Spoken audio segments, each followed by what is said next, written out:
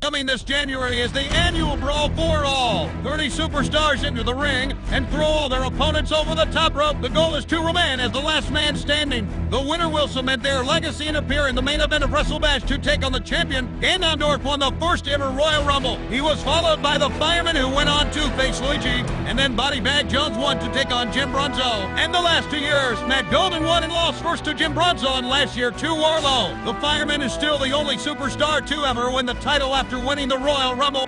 Who will win this year? Find out at the Royal Rumble, live in January on the Extreme Wrestling Organization YouTube channel.